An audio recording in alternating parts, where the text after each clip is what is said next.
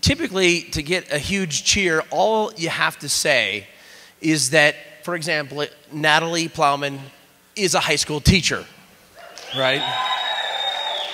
I mean, that's enough right there. But that's not enough for Natalie.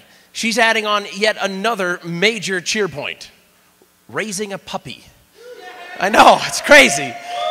It's like, oh my God, there's too much frosting on this cake. But it's going to be amazing. She has been back there this entire show awaiting this. And just a touch nervous, it's weird. She t- she's in front of, she's shaping the minds of our future. And she, she's a, just a touch nervous about this big uh, crowd tonight. So be extra super gentle and awesome for your next speaker, Natalie Plowman.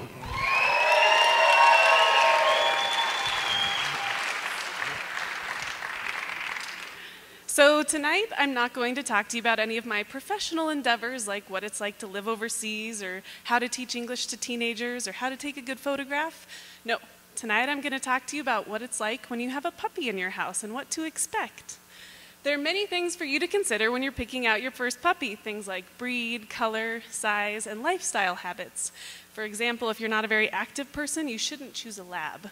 Another thing for you to remember is you can't just ever go looking at puppies or you'll end up taking home the first one you see. Puppies will keep you up at all hours of the night 2 a.m., 4 a.m. But the good news is they wear themselves out quickly and easily, so there's plenty of built in nap time during the day. Whenever he's sleeping, you should also be sleeping. Puppies are clumsy. Expect many mishaps and accidents. They're still learning how to walk. They're kind of like toddlers learning how to walk. They're unsteady on their feet, they're unsure of how to use their legs, and they'll want to stick everything in their mouths. Be prepared to be patient your life will slowly be unraveled one toilet paper square at a time. Expensive items will be destroyed. Whether it's a $60 hair straightener or a $90 MacBook charger, you'll have to learn how to let go of your love of material things. One Monday morning while I was getting ready for work, it was my key fob. The next Monday morning, it was my TV remote. And the following Monday morning, it was my $450 Kate Spade glasses. So he's now in the kennel while I'm getting ready for work in the morning. It's important to socialize your pup, especially in his first six months.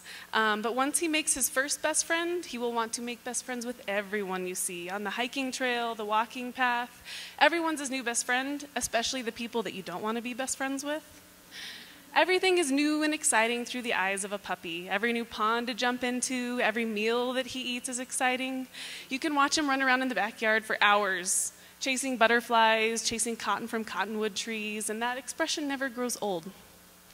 It's important to introduce your pup to water when he's young, even if he's not a water dog, but the problem is you might have an issue getting him out of the water when he really loves the water, and you'll find yourself doing ridiculous things like pulling him out of the flooding Poudre River. Um, your little adventure will need you to take care of him. There will be plenty of vet appointments that are expensive and frequent in the first six months, even when he tries to sabotage his neutering appointment by eating a dozen banana chocolate chip muffins, you'll still have to deal with those appointments. Your pup thinks he's a human. He'll sit like a human. He'll try to eat like a human. He thinks he deserves a spot next to you on the couch like a human. But sometimes he is the best kind of human to talk to. You'll have to talk to him like he's a human. Your puppy will expand your horizons. Together, you will face new challenges and summit new beginnings. You'll have to start off with smaller walks and hikes and work your way up to bigger ones. But your pup will make you want to get out and explore. Believe me, his energy level will be endless.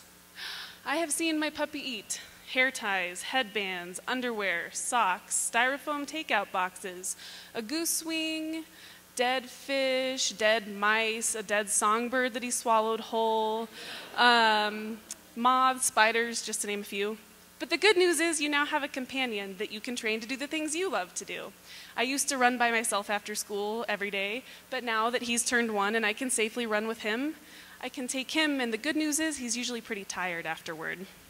Something that no one told me about getting a puppy is your maternal or paternal instincts kick in even if you didn't think you had them, and you'll find yourself doing these stupid things without thinking about them, like tackling a bulldog that attacks your puppy or pulling him out of ice that he's fallen through in the winter. your puppy is hilarious. He will make you laugh without fail. He has his own personality and his own character traits, And watching him come into his own is entertaining, to say the least. A quote for one of my favorite movies is Never lose your childish enthusiasm. With a puppy around, you will never lose your childish enthusiasm. Watching everything new through his eyes, the first time it hails, the first time it snows, the first time it rains, it's always entertaining. Your puppy's favorite game will probably not be your favorite game. Leo's favorite game is Keep Away or Come Catch Me. Just last week, we were at the dog park and he took a man's shoe out into the middle of the pond and sat there dunking it up and down while I yelled at him. But the most important thing that I've learned as a puppy parent is that now you have a companion to trust and rely on. And no matter what mistakes you make or he makes, you have this companion there for you at the end of the day. I apologize for the last 15 seconds because they have not been rehearsed yet, but I wanted to introduce you to someone. Leo, come here. Come here. Good boy. Good boy.